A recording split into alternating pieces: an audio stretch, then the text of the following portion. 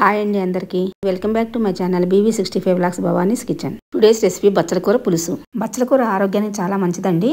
మనం చేసుకునేది పులుసు కాబట్టి ముందుగా నిమ్మకాయ చేసిన చింతపండుని శుభ్రంగా కడిగి మునిగే వరకు వాటర్ పోసి పక్కన పెట్టుకుందాము.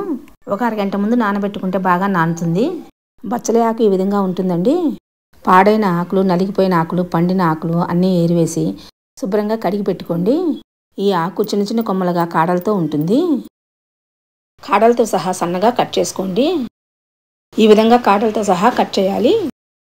కూర వండుకోవడానికి వీలుగా ఉండే గిన్నె తీసుకుని అందులో కట్ చేసుకున్న ఆకుకూర వేసి ఒక గ్లాసు నీళ్ళు పోయండి.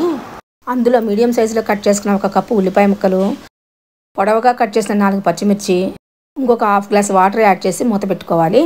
కూర ఉడికేలోపు వేరే పొయ్యి మీద చిన్న ప్యాన్ పెట్టి ఒక స్పూన్ మెంతులు ఒక స్పూన్ ధనియాలు వేసి అవి ఎర్రగా వేగినాక పావు స్పూన్ ఇంగు వేయాలి. ఇంగుని అర నిమిషం వేయించి స్టవ్ ఆఫ్ చేయండి. కూర మీద మూత తీసి మధ్య మధ్యలో కలుపుతూ ఉండండి. మూత పెట్టి కూర ఉడికించుకుంటే కూరలో నుండి మనం పొందే పోషకాలు వేస్ట్ కాకుండా ఉంటాయి. మెంతులు ధనియాలు చల్లారాయండి. రోట్లో వేసుకొని మెత్తగా పౌడర్ చేసుకుందాము. మీకు దంచుకోవడానికి టైం లేకపోతే మిక్సీ జార్లో వేసుకోండి. ఇప్పుడు నానబెట్టిన చింతపండు నుంచి ఒక కప్పుడు రసం తీసుకుందాము. కూర సగం ఉడికినాక చింతపండు రసాన్ని కూరలో పోసుకోవాలి.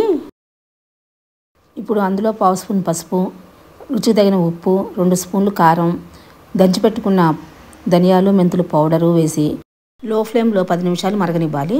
చివరిగా తాలింపు పెట్టుకుందాము. స్టవ్ మీద ప్యాన్ పెట్టి రెండు స్పూన్లు ఆయిల్ వేసి ఆయిల్ హీట్ అవ్వగానే తాలింపు దినుసులు ఒక స్పూన్ మినపప్పు ఆవాలు పావు స్పూన్ జీలకర్ర ఎండుమిర్చి వేసి అవి ఎర్రగా ఫ్రై అయినాక కర్రీ లీవ్స్ వేసుకొని ఆ తాలింపుని పులుసుకి యాడ్ చేయాలి. తాలింపు వేసినాక ఒకసారి కలుపుకొని మరలా రెండు నిమిషాలు బాయిల్ చేయండి.